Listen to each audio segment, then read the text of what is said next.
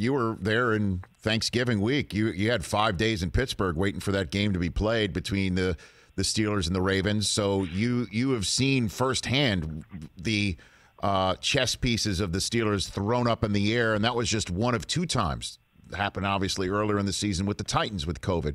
And then after that Thanksgiving game, when they finally did play it and did beat the Ravens, even though uh, Tomlin said that they sucked in that game, us sucking was the was the answer to a question of why were all those drop balls in that game that you still won. Then they lost three in a row. So, what do you think this Steelers team is coming in um, uh, off of a game where they rested starters, but a good half against the Colts that did actually get them through into the division? What, how do you assess this team after that big old setup I gave you, Cris? well, first of all, it wasn't Thanksgiving week; it was Thanksgiving month in Pittsburgh. So right. that's the way I. It was unbelievable. that game just refused to be played from Thursday to Wednesday. It was a full week to to get that game mm. played.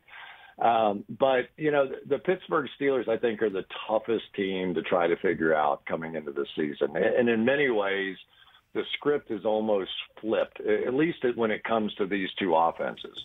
You know, it always felt like the the Cleveland Browns were kind of gripping to for an identity and what are they going to be and you know, now they've got this great offensive line and they can run the football with two tremendous backs and a good young uh, receiver in this Donovan Peoples Jones has kind of come out of nowhere. And ever since Odell Beckham got hurt, they sort of started spreading the wealth and I think build a, build an offense in the passing game. But it's really built uh, around this running game and around uh, this offensive line. Whereas the Pittsburgh Steelers, forever, uh, at least since I've been playing against them and calling their games.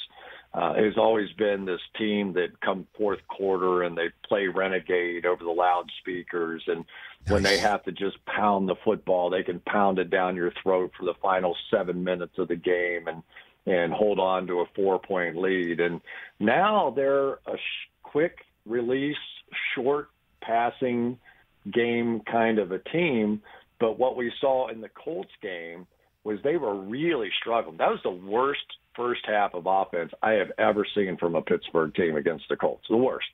And they followed it up with all these big plays in the second half, and somehow came back from 24 to 7 mm-hmm. uh, and won the game. So, you know, but they had to hit big plays. So I think it's going to be a little bit of that again. You know, the, the Steeler running game has really struggled this season after the first five or six weeks or so. Uh, and now it's really going to be on these big play receivers, Claypool and Washington, and Diontae Johnson and Juju.